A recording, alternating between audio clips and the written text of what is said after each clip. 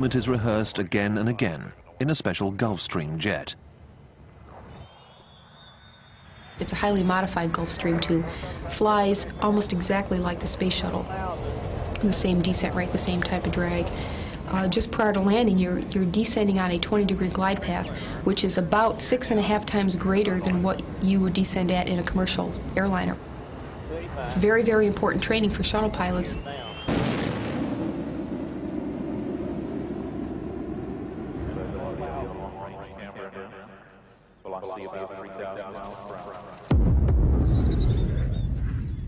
The shuttle announces its arrival with two sonic booms as the leading edge of the wing and tail break the sound barrier.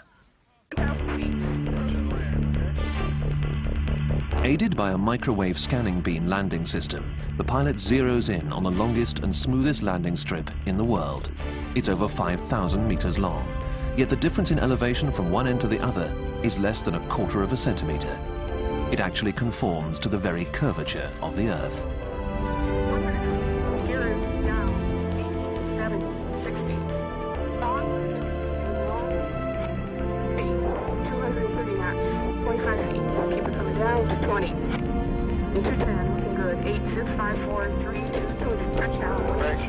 Touching down, the first spaceship ever designed to fly like a plane has landed.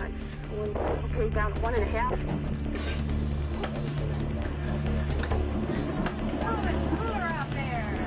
As the astronauts adjust to gravity, the orbiter recovery convoy goes to work. For four hours, the vehicle sits cooling on the runway. Toxic fumes from the hypergolic fuels must be vented.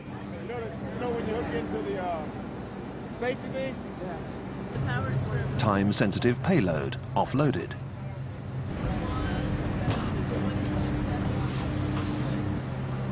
And the shuttle itself must be readied for a return to orbit.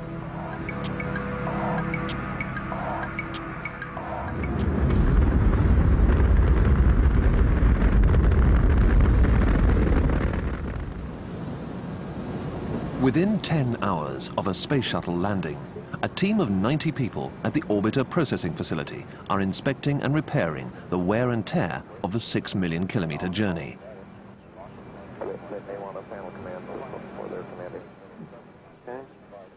If you owned a recreational vehicle and you were going to take it on a very long trip, before you did that, you would probably put it in a garage and you would ask the mechanics to check everything. When you put the space shuttle, the orbiter, in the orbiter processing facility, the OPF, you do just that.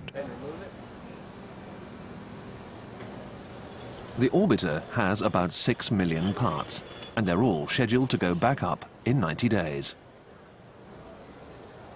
Every landing when the bird comes in, we check for meteor strikes, scratches that may occur on a 6 10 thousandths. It'll be about the size of your hair. The end of your hair, if you looked at it, that's the size that we look for on the window. The same precision goes into checking the three main engines. Each main engine is four meters long.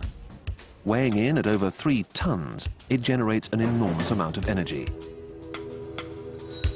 These high-performance engines are operated at 104% of their rated power level. To maintain them for up to 55 flights, NASA had to create a roomful of one-of-a-kind tools. It's a wonderful example of the old saying, the right tool for the job.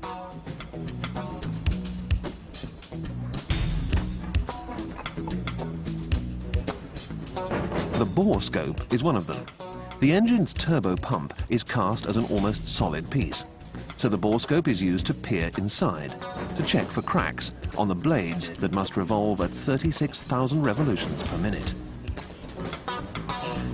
The aft compartment of the shuttle is um, kind of like a maze, and it's all very um, sensitive and very delicate. You have a titanium uh, thrust structure that holds thousands and thousands of uh, pounds of thrust. Uh, right next to it, you have stainless steel at a very, very thin thickness. Can you imagine being back here during a orbital liftoff. You've got gallons and thousands of gallons of liquid oxygen flowing through this feed line It's coming from the external tank disconnect located down there. Through these feed lines, powerful turbo pumps draw liquid oxygen and liquid hydrogen at a rate that would empty a large swimming pool in 20 seconds. These two cryogenic fuels, maintained at hundreds of degrees below zero, are forced together in a combustion chamber just 25 centimeters across, where they explode to produce a quarter of a million kilos of thrust. So that the engine is not destroyed by heat, it's frozen by the liquid hydrogen flowing all around it.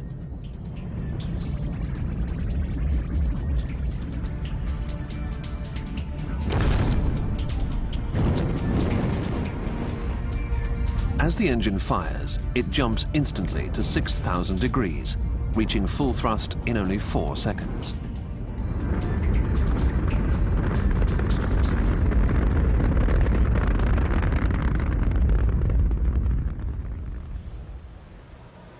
The entire surface of the shuttle is a masterpiece of thermodynamic design. The underside of the fuselage is covered with a jigsaw puzzle of 35,000 individually fitted silica tiles. Each tile is numbered and cut to conform exactly to the contour of the skin.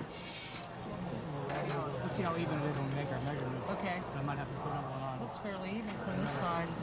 My 5 right now. The tile material conducts the heat of re-entry away from the orbiter so efficiently that after coming out of a 2000 degree test furnace, it can be picked up by the bare hand in just a second.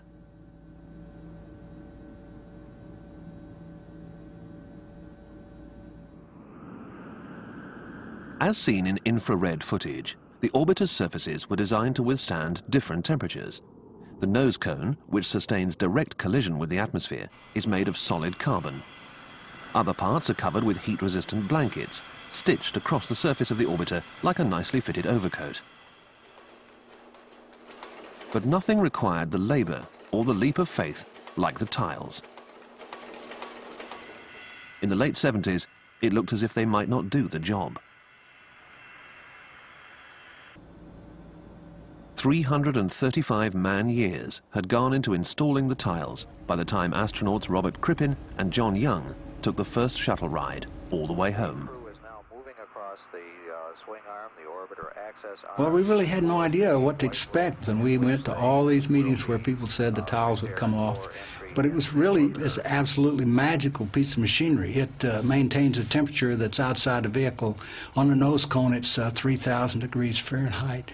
Inside the vehicle, the temperature is 68 degrees Fahrenheit. The uh, thermal tiles maintain that. Now, when we do the simulator training, we have an astronaut crew in the actual simulator itself. We have a training crew, which is which is down at the console, and they have a script that they have written ahead of time on a list of malfunctions that they're going to input into the simulator. And then we have flight controllers over in mission control, and they don't know what kind of malfunctions are coming. And the astronaut crew doesn't know what's coming.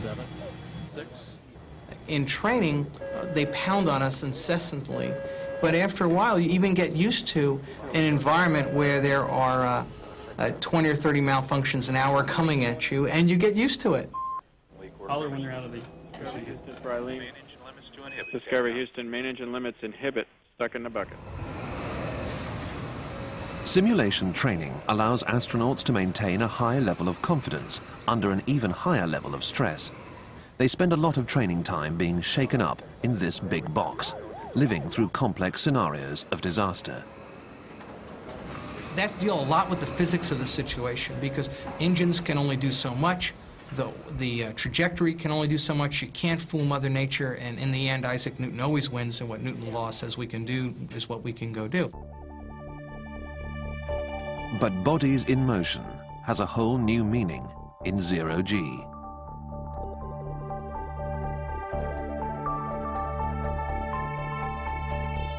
Everything's going its own direction. It's got its own little velocity. So you're surrounded in space with all kinds of objects which are going their own way. It's incredible the freedom that, that zero G in spaceflight is. A brief sense of that freedom can be achieved in a special plane, the KC-135, sometimes called the Vomit Comet. Flying up and down parabolas, It sends its passengers into free-falling weightlessness.